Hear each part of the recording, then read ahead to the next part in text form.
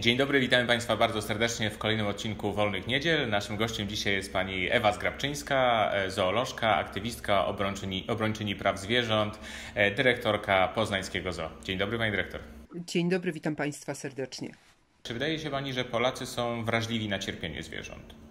Myślę, że e, nie jest to związane z nacją, że e, tego typu twierdzenie, że Polacy, czy Holendrzy, czy, czy ktokolwiek inny e, ma jakieś cechy, przywary narodowe, czy zalety, jest dość karkołomnym myśleniem i stwierdzeniem w naszych czasach, dlatego że Polacy nie są gorsi ani lepsi od Francuzów czy Belgów zjadających wątróbki gęsie, nie są lepsi czy gorsi, jeśli chodzi o fermy futrzarskie, które są e, czy były utrzymywane w Danii, e, mamy hiszpańską korridę, mamy e, rzeczy, które dzieją się w różnych państwach. Ja myślę, że bardziej powinniśmy rozpatrywać to w kategoriach dobra i zła, wręcz takiego bezwzględnego, dlatego że szacunek, miłość do zwierząt dla mnie jest wpisane w człowieczeństwo jako taka matryca, tak sztanca i nie wyobrażam sobie, żeby o człowieku można było powiedzieć, że jest człowiekiem dobrym, jeżeli tego szacunku do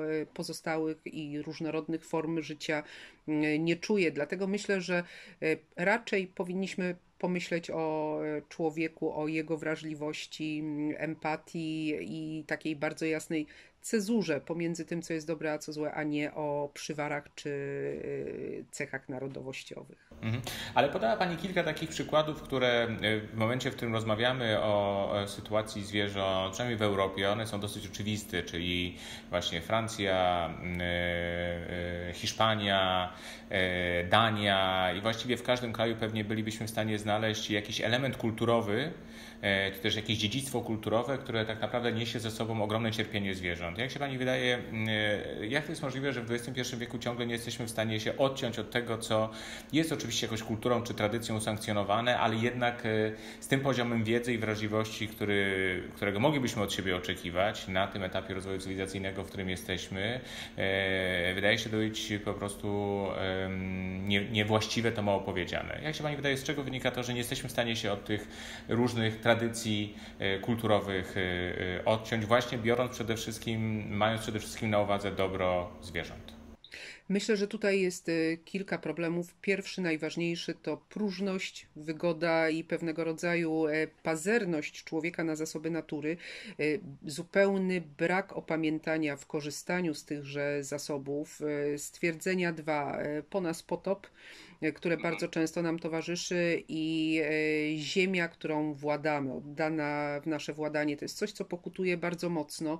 E, człowiek ma niestety taką dziwną tendencję do e, niezauważania zależności przyrodniczych e, związanych z funkcjonowaniem e, homeo, tak naprawdę właśnie homeostatycznym e, przyrody, dlatego że jesteśmy pewnym elementem w łańcuchu zależności, ciągu przyrodniczych relacji. Nie jesteśmy wyalienowani i antropopresja, oczywiście nasza działalność dramatycznie niszczycielsko wpływa na naturę, natomiast powinniśmy zwrócić uwagę, że nasz konsumpcjonizm nieliczenie się ze skutkami naszych działań to jest pewnego rodzaju kłopot. Nie sądzę, żeby było to takie dramatyczne przywiązanie do tradycji. To jest raczej tak, że e, nasza chęć rozrywki, bardzo często źle postrzeganej, e, konsumpcjonizm, pewnego rodzaju próżność, jest e, dramatem, który toczy się później w świecie zwierząt, w świecie przyrody. A z drugiej strony to przekonanie, ta buta, że jesteśmy tym gatunkiem wyjątkowym, który został więc wręcz jak sakrum, tak, powołany do zarządzania tym, co dzieje się na Ziemi. Myślę, że taką lekcją pokory w tych warunkach jest właśnie pandemia, jest koronawirusa, która mm, okazuje się być nie do opanowania.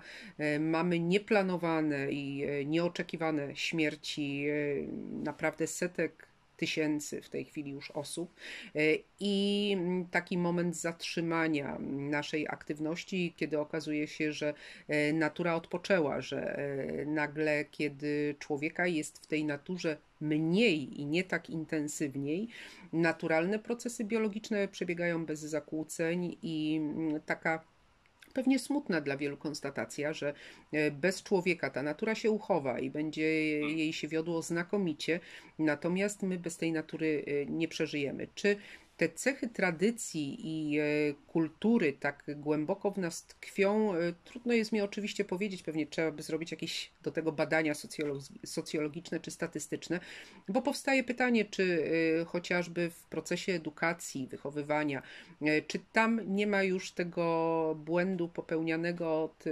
pokoleń, że pewne tradycje są, stają się dla nas drugą skórą, są naturalne, nie widzimy zła w nich tkwiącego, bo e, rzeczywiście, jeżeli syn toreadora w wieku dziecięcym e, zaczyna praktykować w trakcie korridy czy syn właściciela fermy futrzarskiej dziedziczy y, dobra po ojcu, y, to jest to pewnego rodzaju problem. Natomiast rzeczywiście myślę, że w tej edukacji, która y, powinna być pełna empatii i człowieczeństwa wraz z rozwojem cywilizacji, tkwi pewnego rodzaju błąd i że te wartości takie humanitarne i związane z rdzeniem pierwotnym człowieczeństwa bywają gdzieś tam zatracane, że zbyt mechaniczne nauczanie w szkołach pewnych treści programowych, które też się zmieniają, ma na to wpływ i polityka, i, i czasoprzestrzeń, jak widać, która nas dotyka bardzo, bo zupełnie inaczej kiedyś interpretowano historię Polski, w tej chwili e, zupełnie inaczej to wygląda.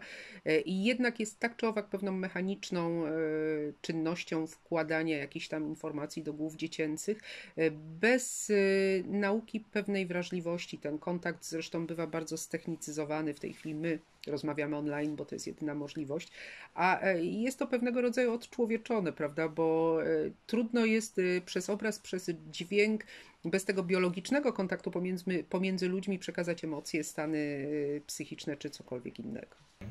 Powiedziała Pani o e, kwestiach związanych z edukacją i zastanawiam się nad tym, czy tak naprawdę my nie żyjemy w jakiejś jednej wielkiej kulturze wyparcia, jeśli chodzi o sytuację zwierząt, dlatego że... Bardzo wygodnej kulturze wyparcia, dlatego że ona powoduje to, że idziemy do sklepu rzeźnickiego, w którym mamy do czynienia z setką mięsiwa i szynek i wędlin, które tak naprawdę nie są nam potrzebne ani do zaspokojenia głodu, ani do przeżycia. E, jeżeli już to mięso jeść musimy, w tym wypadku wystarczyłby tak naprawdę jeden jego rodzaj. Natomiast nie ma też, gdzieś brakuje tych przekaźników, wręcz neuroprzekaźników mózgowych, że to, co leży na tej ladzie w ilości kilkudziesięciu bardzo różnych wędlin, pochodzi od zwierzęcia. To jest tak, że gdzieś na tych szynkach dla dzieci pojawia się na przykład prosiaczek, czy jakiś misiu, czy stają się one takie przyjazne, tak dziecięce i wprowadzamy je do diety zupełnie nie myśląc o tej drodze y, od hodowli po morderstwo dokonane na zwierzęciu w warunkach najczęściej pełnych cierpienia, mm, tragedii zwierzęcych, y, tego cierpienia, które jest absolutnie tożsame z naszym odczuwaniem y, bólu i emocji, bo jesteśmy cały czas przedstawicielami gromady ssaków, jesteśmy gatunkiem, który ma podobną budowę układów wewnętrznych, czy nerwowego, czy pokarmowego, czy wydalniczego, jak chociażby naczelne, więc to nasze takie wyekstrahowanie się od y, środowiska z jednej strony, a drugie, tak jak Pan powiedział, wypieranie jakby y, ciągów przyczynowo-skutkowych jest bardzo typowe dla takiego, dla takiego społeczeństwa konsumpcji, bo ta konsumpcja gdzieś jest na pierwszym miejscu. Y, korzystanie takie nieumiarkowane z dóbr, które pozyskujemy, jest to zakłamywanie rzeczywistości. Też dla nas typowe, bo trudno byłoby poradzić sobie, myślę, przeciętnemu Kowalskiemu z takim sumieniem, y, które musiałoby znieść obraz y, zwierzęcej katorgi od y, hodowli. Jeżeli Kowalski zobaczyłby, w jakich warunkach hodowana jest trzoda chlewna, jak cielaki odbierane są krową, krowa potrafi płakać po swoim dziecku, tak jak matka ludzka po utracie niemowlęcia. Jeżeli miałby przeprowadzić cały proces, począwszy od hodowli prowadzonej w warunkach bardzo często urągających potrzebom biologicznym zwierzęcia, e, po zaszlachtowanie tego zwierzęcia. Ja już nie mówię o tak e, ekstremalnych sytuacjach, jak chociażby ubój rytualny, wykrwawianie, ale takie zwykłe obrazy z przeciętnej rzeźni e, po produkcję. E, myślę, że mielibyśmy społeczeństwo oparte na wegetarianizmie, weganizmie i że rzeczywiście takie stwierdzenie brutalne, które pojawia się mm, gdzieś tam w negacjach tej kultury konsumpcji pełnej mięsa, e, weź nóż, zabij, opraw e, i zobaczymy wtedy, czy będziesz chciał to zjeść, e, jest takim sprowadzeniem tego do wartości naturalnych. My o tym nie myślimy. Idziemy do supermarketu, do sklepu, który jest pełen kolorowych, pachnących, kuszących opakowaniami, reklamowanych produktów, które są nam absolutnie niepotrzebne, zbędne wręcz i które powinny być opisane tutaj zwierzę cierpiało. Cierpiało tyle i tyle godzin, dni, lat swojego życia czy tuczenia, e, przyjmowało antybiotyki, hormony wzrostu, które są dla ciebie nie, zupełnie niezdrowe i tkwią w tym mięsie, podobnie jak e, hormony stresu związanego chociażby z zabiciem. Nie doświadczało światła słonecznego, nie mogło biegać po otwartej przestrzeni. Dzieci, mordowano jego dzieci, tak, tego zwierzaka na, na oczach zwierzęcych matek. Myślę, że po tego rodzaju stwierdzeniach e, ten konsumpcjonizm mógłby mieć tendencję spadkową. Taki powrót, powrót do natury, który zresztą gdzieś od czasów e, Jana Jakuba Rousseau e, powtarzał się w filozofii i u myślicieli, mógłby oczywiście nastąpić. Tylko pytanie powstaje takowe, czy siedząc przy komputerze mm, po raz kolejny pracując, grając, czy na Facebooku kontaktując się z przyjaciółmi, kontrolujemy to, co jest u nas w lodówce, co kupiliśmy i czy myślimy w ogóle o tym, jak proces y, przygotowywania tych wszystkich produktów, które nam są niezbędne, działa i wpływa na przyrodę. Obawiam się, że tu tego ciągu przyczynowo-skutkowego brakuje i że nie jesteśmy gotowi jako społeczeństwo, zresztą nie tylko my, tak generalnie jako populacja ludzka do zmierzenia się y, z prawdziwymi czynami, które popełniamy każdego dnia, żeby zaspokoić naszą próżność, chciwość, chęć posiadania, czy y, bycie elementem takiego trochę polukrowanego społeczeństwa, mm, które nie myśli, a zabija, które twierdzi, że nie zadaje cierpienia, a absolutnie cierpienia tego jest sprawcą na ogromną skalę. To jest tak jak Panie, które e, bardzo często zakupując jakieś elementy swojej garderoby, nie myślą o tym, że czapka z kawałkiem tego naturalnego pomponika, który jest właśnie ze skóry i, i e, futra zwierzęcego, oznacza miliony istnień obdzieranych bardzo często żywcem ze skóry w dramatycznych warunkach utrzymania.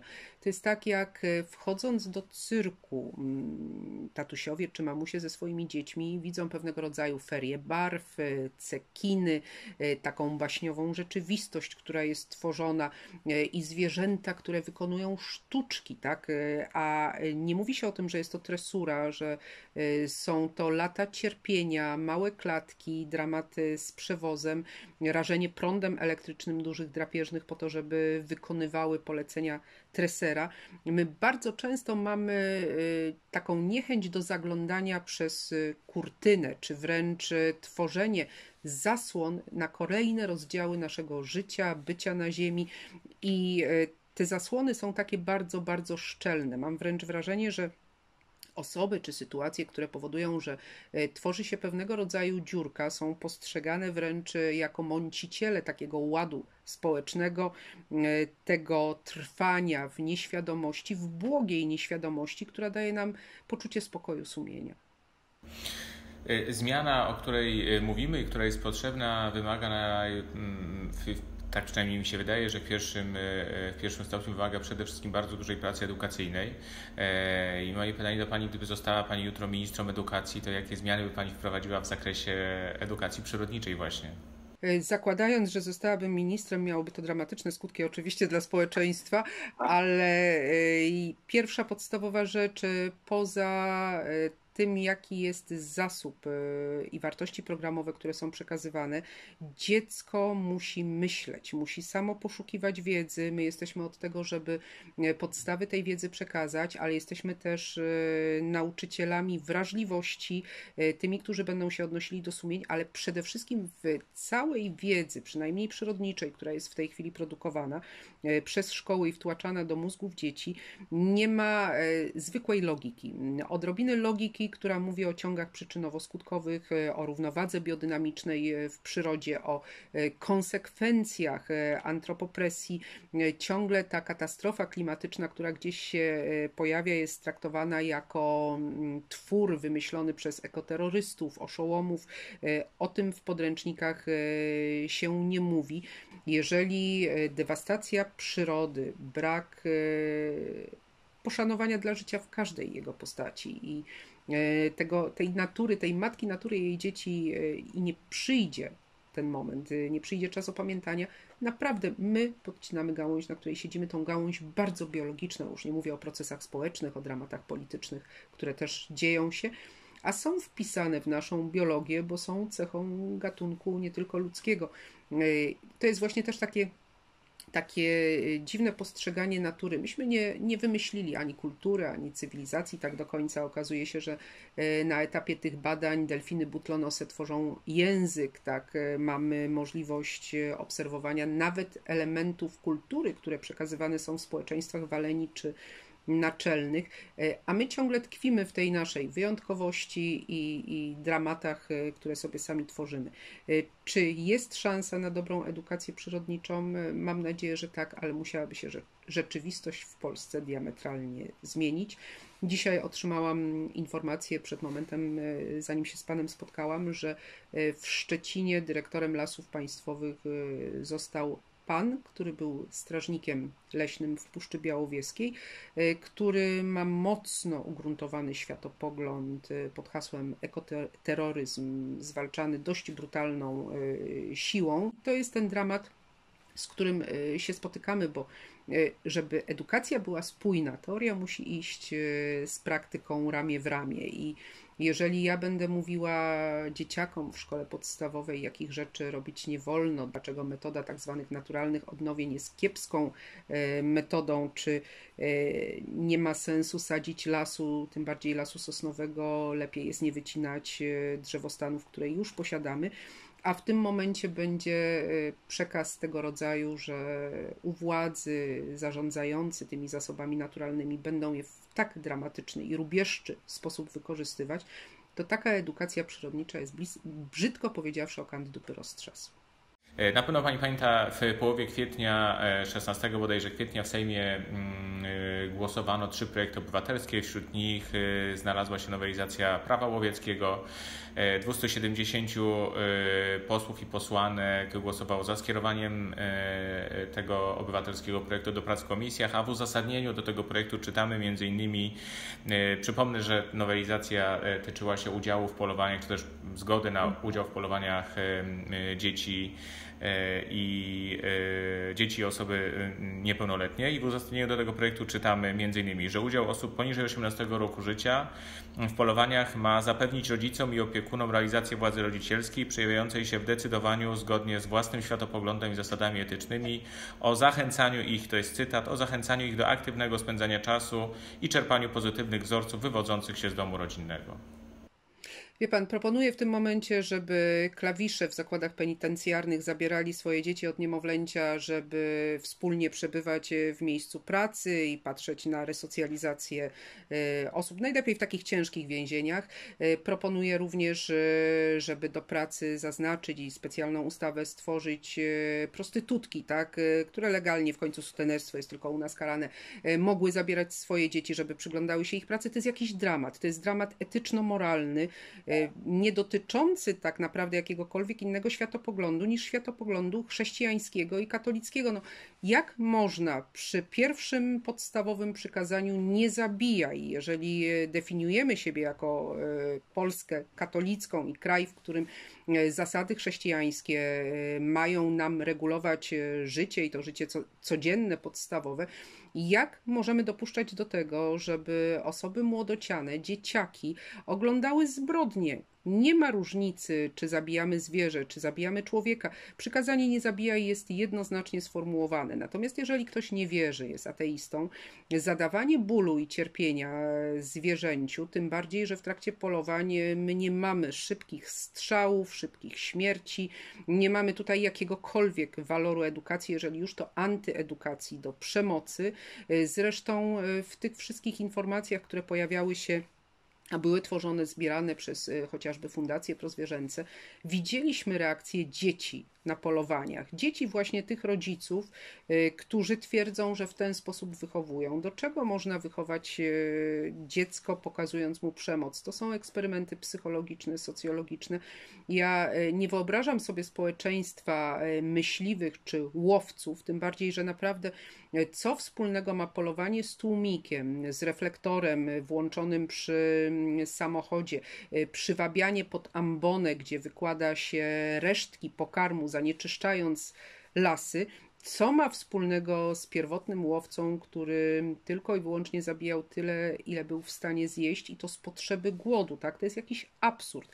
Jak usłyszałem, że mamy to jeszcze łączyć z dworami królewskimi, z tradycją, kiedy y, syn król polował z ojcem królem, to jest jakieś w ogóle pomieszanie pojęć, jest to tak niezwykły chaos wynikający właśnie z braku edukacji, ale również wykształcenia. Ten poziom wykształcenia w Polsce ogólnego jest dramatycznie niski, musimy to sobie wreszcie powiedzieć, a tego typu pomysły są tak karkołomne i absurdalne, że autorzy powinni być wyśmiani.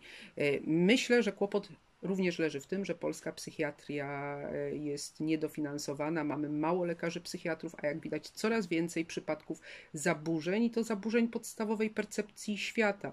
E, zło, dobro, śmierć, e, morderstwo to są naprawdę jasne definicje dla większości ludzi, wynikające między innymi z naszej kultury, z naszej kondycji ludzkiej i tutaj nie ma co na ten temat dyskutować. Absurdalny, dramatyczny pomysł, który powinien być natychmiast odrzucony przez przedstawicieli całego narodu, a więc zakładamy, że jednak w parlamencie zasiadają osoby szczególne, y, stygmatyzowane do tego, żeby nami zarządzały.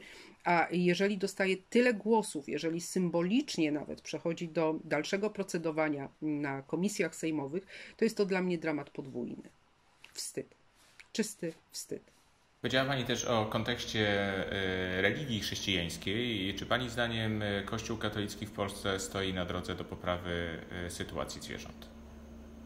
Kościół katolicki w Polsce jest w tej chwili instytucją, która poza E, jednostkami, dlatego że tu trudno jest też e, mówić e, o ludziach. Bywają kapłani, którzy mają bardzo dobry stosunek i do ludzi, i do zwierząt. Miłość głoszą, miłość praktykują i również prowadzą dobrą edukację. Natomiast jako instytucja i organizacja czyni bardzo wiele złego, dlatego że nie tylko hasło czyńmy ziemię sobie poddaną, ale generalnie rzecz biorąc, y, ustawianie się w opozycji do y, trendów czy działań proekologicznych, y, określanie ekologów mianem ekoterrorystów, mylenie dyscypliny naukowej, która jest jasno osadzona, jeśli chodzi o biologię i ma swój bardzo ważny wymiar z działaniami aktywistów to są dramaty.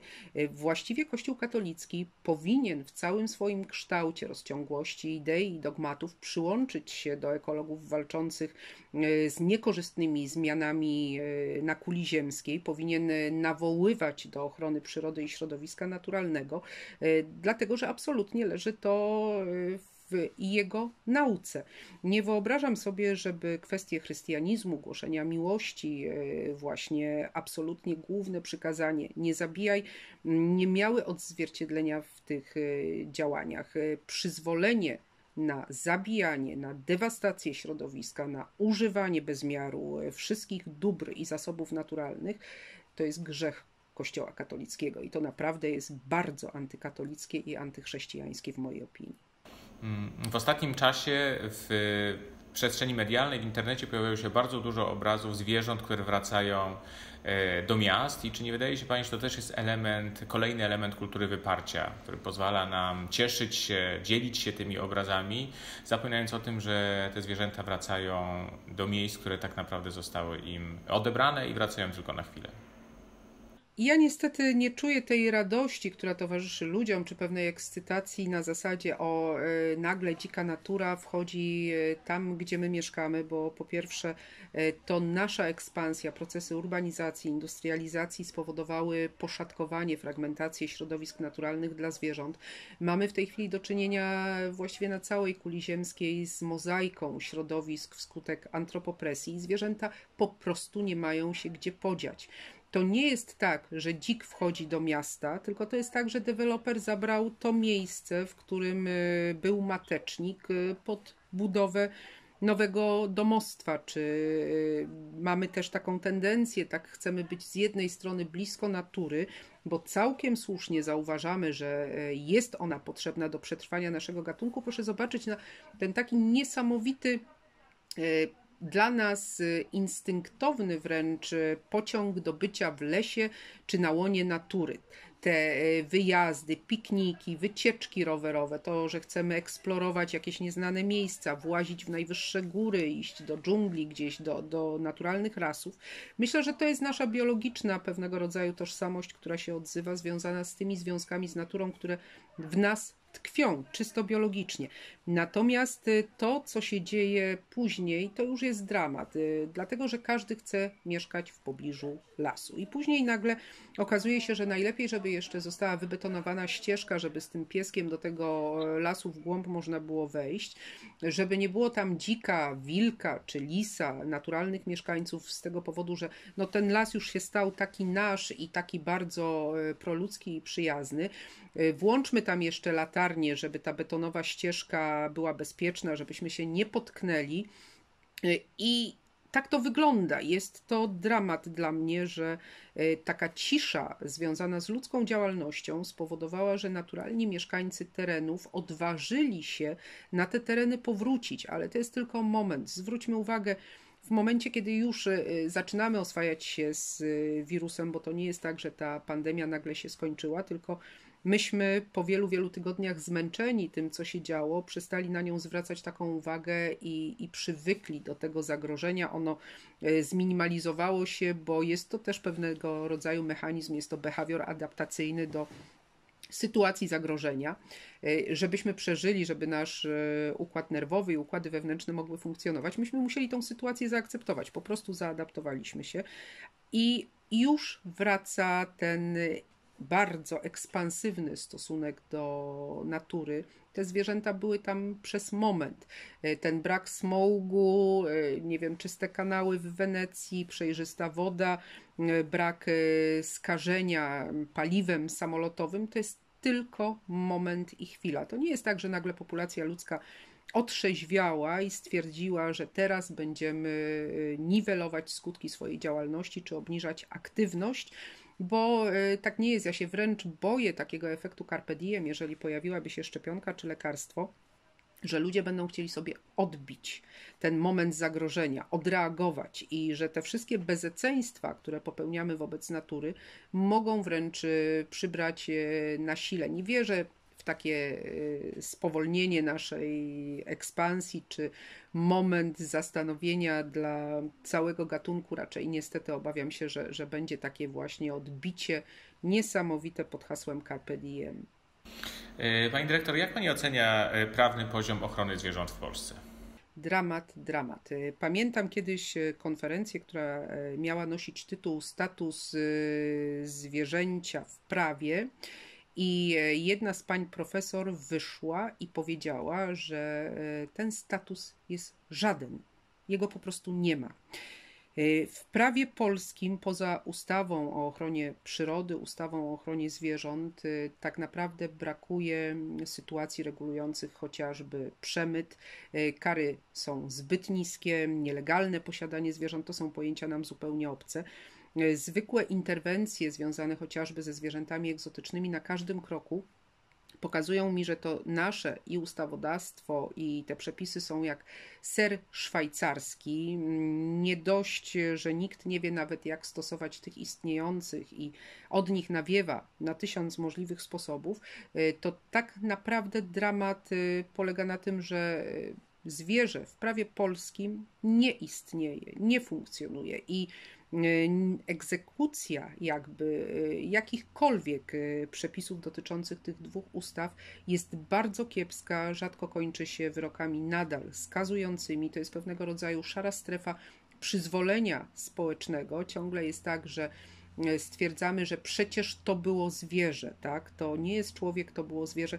I ten dramat trwa, a wszelkie kroki, które zostały podejmowane pod hasłem nowelizacje, tak naprawdę y, odeszły gdzieś tam w niepamięć. Jeżeli w tej chwili ja borykam się z doniesieniami y, społecznymi związanymi z wycinką lasów w okresie lęgowym ptaków, z naruszeniem dyrektywy siedliskowej Unii Europejskiej, to jak my możemy mówić o zwierzętach i prawie polskim? To jest po prostu absurdalna dyskusja, dlatego że nie ma ochrony prawnej zwierząt w Polsce. Ona nie funkcjonuje i tyle.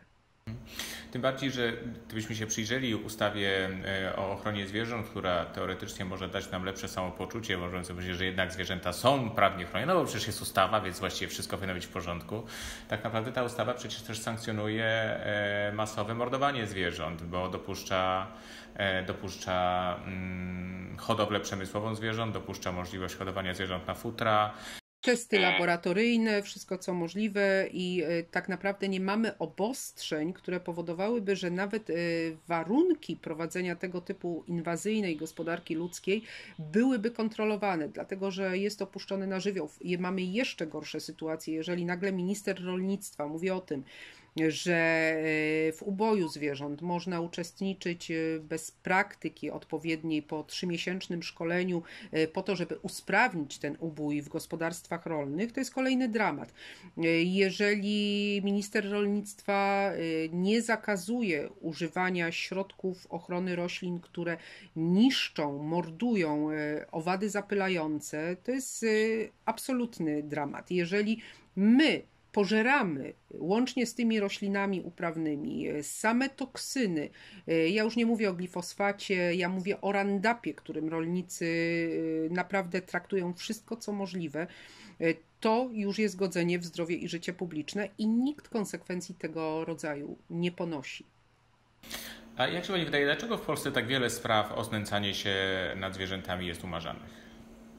Myślę, że właśnie z powodu tego, że to prawo jest y, zupełnie niedoskonałe, poza tym y, tutaj jednak y, jest to kulturowe przyzwolenie związane z tym, że zwierzę jest istotą niższą, nawet nie istotą, tak? Przedmiotowe traktowanie zwierząt jest bardzo częste. Poza tym jest przyzwolenie społeczne związane z tym, że skoro to jest pies wioskowy albo zwierzę hodowlane, tak, to dajmy sobie spokój, bo to nie jest nasz ukochany York leżący na podusi, tylko zwierzę o mniejszej wartości. To jest tak, jakby zwierzęta, które są zwierzętami hodowlanymi, nie miały uczuć, emocji, inaczej odczuwały cierpienie. Tak jak jesteśmy w stanie jeszcze pochylić się nad tym kotem czy psem, który został, nie wiem, skopany zbity, tak, e, powieszony przez właściciela, czy pozostawiony w lesie, tak, jeżeli pomyślimy już o życiu prosięcia, które jest kastrowane na żywca, czy o życiu świni hodowlanej, to proszę zwrócić uwagę, to jest tak, jakby to życie było wartościowane i, i to jest jakaś taka e, zupełnie dziwna granica, wręcz e, bezwartościowego, czy o bardzo niskiej wartości przedmiotu, który można zepsuć, można zabić, e, można zjeść, można cokolwiek z nim innego zrobić. E, jest pewnego rodzaju bariera cały czas w naszych umysłach pomiędzy zwierzętami hodowlanymi. One mają tak naprawdę przerąbane, kolokwialnie ujmując, e, na terenie Polski, ale nie tylko a zwierzętami towarzyszącymi. Te, które są w naszych domach, są traktowane znacznie lepiej. Aczkolwiek y, myślę, że tu też następują pewnego rodzaju wyłomy. Spójrzmy, wróćmy do tej historii tygrysów. To są jednak zwierzęta egzotyczne zupełnie dla nas, a ruch społeczny, który powstał, sama zbiórka, która sięgnęła 2 milionów złotych, pokazuje, że jednak e, pewnego rodzaju wrażliwość jesteśmy w stanie uruchomić i być może postawić na edukację, być może na e, działania informacyjne i komunikację społeczną, która połączyłaby te ciągi przyczynowo-skutkowe w jedność i w naszych umysłach i sumieniach zrobiła wyłomy. Oby tak się stało jak najszybciej. Niemniej, póki co jest coraz więcej przeszkód do pokonania. Wspomniała Pani o ministrze rolnictwa, e, który kolejnymi swoimi działaniami pokazuje, że chyba zdecydowanie nienawidzi zwierząt. E, ostatnimi czasy próbuje przeforsować zmianę w ustawie, która zabroniłaby organizacjom chroniącym zwierzęta interwencji E, nagły w obronie zwierząt. E, jeżeli taki zapis do ustawy został wprowadzony, to czym to się skończy dla zwierząt w Polsce? Skończy się to upadkiem e, całkowitym jakby resztek ochrony prawnej, która jeszcze pozwalała na to, że organizacje bardzo często oparte na kilkudziesięcioletniej tradycji e, działania i ochrony zwierząt nie mogłyby podejmować już jakichkolwiek interwencji. Wyobrażam sobie wtedy sytuację zamęczania, ja już nie mówię o powrocie do topienia szczeniąt, e, do krótkich łańcuchów, ale jakiekolwiek akty przemocy zyskują w ten sposób pełne przyzwolenie. I e, ta śladowa kontrola, która w tej chwili działa, zostałaby całkowicie unicestwiona i e, cofnięta. Co więcej, jest to zupełne odwracanie sytuacji, mianowicie e, ofiary stawiamy w roli kata. Kat jest, no, jest to niewyobrażalne cofnięcie się rozwojowe, cywilizacyjne i to jest nie tylko kwestia etyki, wrażliwości czy empatii, ale znowu tego zdrowego rozsądku i logiki. To są e, milowe kroki do tyłu, wstecz, po tym cokolwiek udało się osiągnąć, a w tej chwili myślę, że ten taki odwrót od e, jakiejkolwiek opieki i uznawania zwierzęta za istoty czujące i żywe w momencie, kiedy Nowa Zelandia chociażby daje proklamację na temat tego, że e, zwierzę jest istotą praktycznie taką samą jak człowiek, wymagającą takiej samej ochrony prawnej, jest naszym dramatem. W Polsce w tej chwili mamy aż dwa ministerstwa, które e, no, pewnie jest ich więcej, ale dwa, które przynajmniej w nazwie są e, blisko tematów, o których rozmawiamy. Ministerstwo Klimatu, Ministerstwo Środowiska. Póki co nie widzimy ze strony tych ministerstw jakichś specjalnych działań na rzecz poprawienia sytuacji e, zwierząt. Obawiam się wręcz, że możemy mówić tutaj o działaniach e, anty ochrona środowiska i działaniach przeciwko e, dobrostanowi zwierząt, przeciwko e, prawu, ale też e, działania, które ochronę przyrody generalnie i polskie dziedzictwo przyrodnicze wydają na pastwę działań niekontrolowanych, niszczycielskich, w żaden sposób nie są te działania sankcjonowane, a co gorsza stoją w opozycji do nauki i to tej podstawowej i zdrowego rozsądku. E, jakie działania ma Pani na myśli w tej chwili?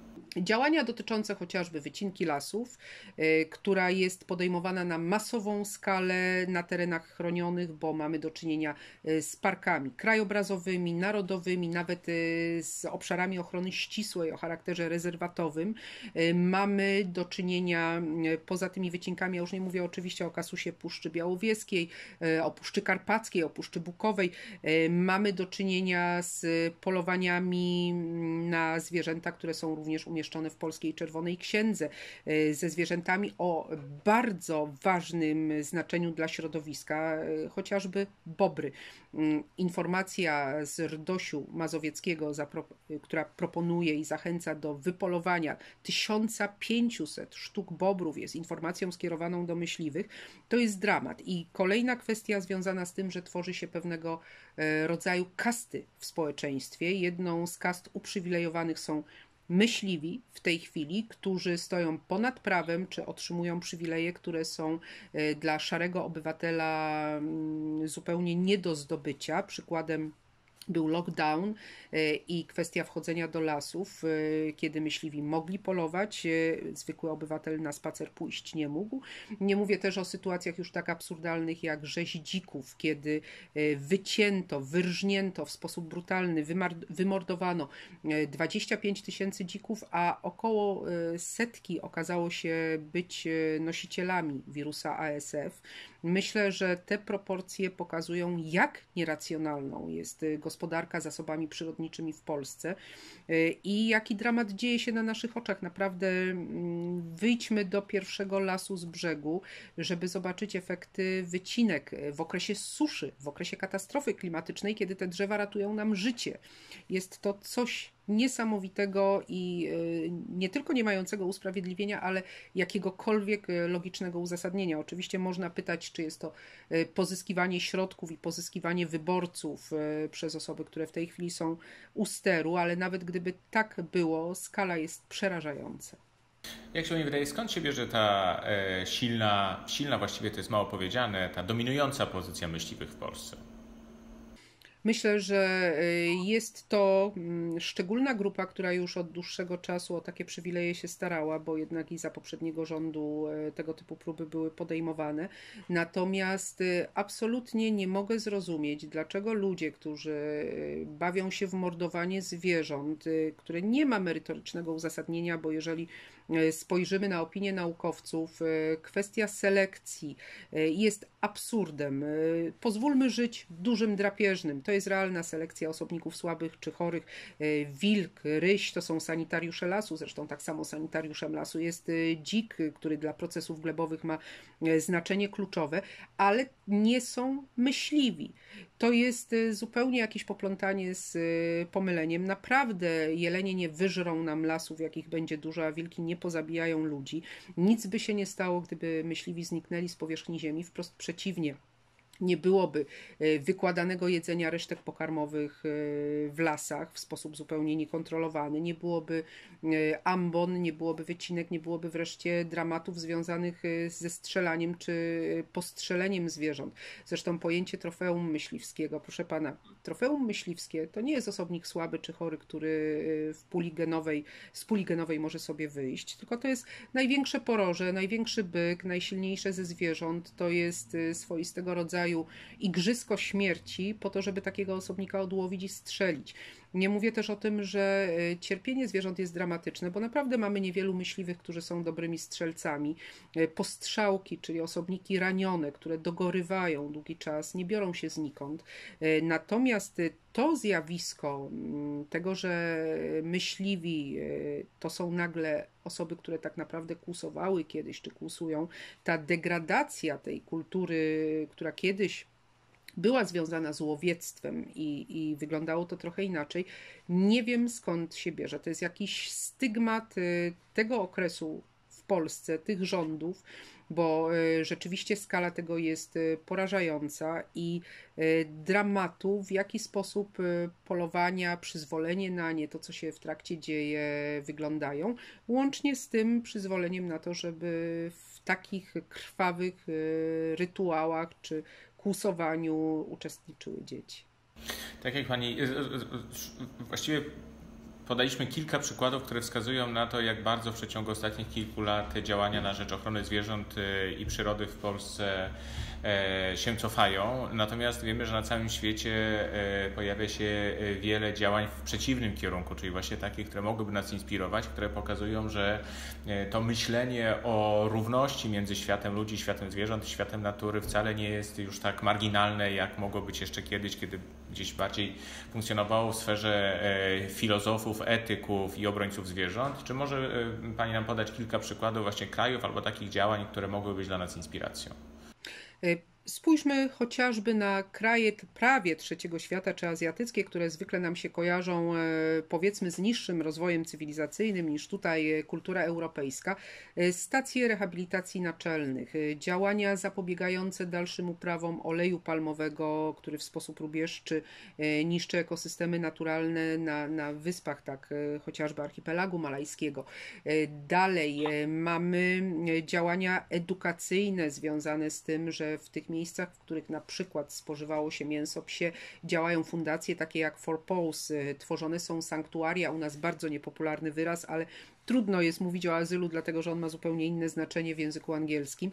Natomiast y, sanktuaria dla zwierząt, y, które są przywracane naturze, procesy reintrodukcji, ochrona tygrysa sumatrzańskiego, y, dalej działania takie jak na nowo wpuszczenie mm, wilków do parku Yellowstone i odbudowanie wszystkich procesów w środowisku naturalnym po to, żeby ono funkcjonowało tak jak kiedyś, bez działalności ludzkiej. Wreszcie nie tylko edukacja, ale działania proklimatyczne z kraje skandynawskie, ograniczenie emisji dwutlenku węgla, e, szczyty klimatyczne w końcu, e, w których my tak bardzo, bardzo tak niechętnie i, i wiadomo jak uczestniczymy. Wreszcie działalność Unii Europejskiej, chociażby związana z regulacją transportu czy handlu zwierzętami egzotycznymi. Tych przykładów można by naprawdę mnożyć. Edukacja przyrodnicza poza naszymi granicami stoi na bardzo wysokim poziomie i zaczyna być jedną z kluczowych, jeśli chodzi o, o właśnie ocalanie zasobów naturalnych. Zresztą e, podejście związane z tym, że e, cechą patriotyzmów i lokalnych, i dotyczących całych państw jest dbanie o przyrody naturalne, o zasoby przyrodnicze. E, ta tendencja do tego, żeby chronić od podstaw i edukować, jest do zauważenia wszędzie. Jeżeli wjedziemy do landów niemieckich, tam kwestia rezerwatów czy parków narodowych to są miejsca święte. U nas w tych miejscach się w tej chwili robi wycinki ptaków w okresie lęgowym. To jest ta e, zasadnicza różnica praktyczna i merytoryczna. Jan Białocerkiewicz, nieżyjący już profesor nauk prawnych, pisał w książce Status prawny zwierząt różnicy pomiędzy dzisiejszą ochroną prawną zwierząt a ochroną ich praw. Profesor Białocerkiewicz zwraca uwagę na to, że ochrona praw zwierząt oznaczałaby całkowite wyzwolenie zwierząt spod ludzkiej tyranii. Jak się Pani wydaje na tej drodze między prawną ochroną zwierząt a ochroną praw zwierząt, gdzie w tej chwili w Polsce jesteśmy? Ja myślę, że myśmy w ogóle z tej drogi zawrócili. Myśmy y, utkwili w jakichś kolejnach, które są coraz głębszym gównem. Proszę mi wybaczyć, ale tutaj nie ma innego określenia na to, co się dzieje. Y, ja uważam, że zarówno kwestia praw zwierząt, jak i ich ochrony prawnej została cofnięta i że y, dorobek kilkunastu ostatnich lat działań organizacji prozwierzęcych, ekologów, również naukowców został zaprzepaszczony, że to jest ten moment, w którym doszło do totalnego impasu. I y, naprawdę kwestia samego wylesienia terenu Polski w tej chwili y, jest dramatem, który toczy się na naszych oczach, a pewne procesy są nie do cofnięcia. I to jest jakby duży dramat, bo e, możemy tutaj zmieniać przepisy, natomiast odzyskiwanie populacji zwierząt czy ekosystemów naturalnych jest skazane na porażkę. To są procesy długoterminowe i bardzo często bywa tak, że e, po usunięciu na przykład gatunków kluczowych z ekosystemu naturalnego ten system już się nie odbuduje.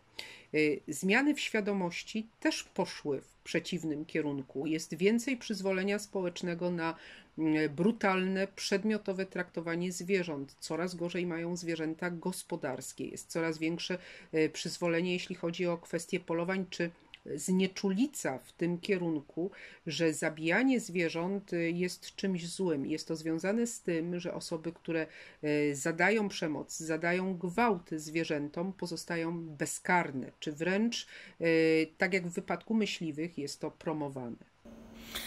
Pani dyrektor, w niedawnym wywiadzie dla Wysokich Obcasów powiedziała Pani, że gdy chce się robić rewolucję, to trzeba się liczyć z hejtem i z łatką wariatki. Jaką chciałaby Pani zrobić rewolucję? Rewolucję w świadomości ludzkiej. To znaczy, bardzo chciałabym e, zebrać ludzi podobnie myślących, dla których e, przyroda stanowi pewnego rodzaju kwestię równowagi biologicznej, e, osób, które są w stanie wyobrazić sobie, że mm, kwestia ochrony zwierząt przenosi się również na ochronę życia ludzkiego i możliwości naszego trwania w naturze, że dziedzictwo przyrodnicze, polskie dziedzictwo przyrodnicze jest niezwykle istotne i i konieczna jest natychmiastowa i bezwzględna jego ochrona, że interesy czystej ekonomii nie mogą być powiązane z ochroną przyrody i e, nie może być tak, że kosztem zubażania natury będziemy próbowali generować jakieś środki na funkcjonowanie państwa. Nie tędy droga.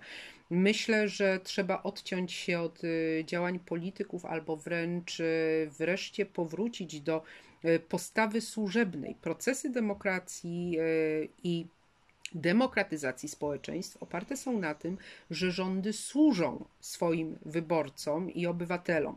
To jest bardzo ważna kwestia, dlatego że taką e, postawę służebną trzeba przyjąć też e, wobec natury i e, bez tej natury nie przetrwamy. Ta rewolucja musi odbywać się na kilku poziomach, bezkrwawych oczywiście, e, począwszy od e, edukacji na tych podstawowych poziomach przyrodniczej dla dzieci, poprzez naszą świadomość, w jaki sposób zużywamy zasoby natury i że są one w dużej mierze nieodnawialne.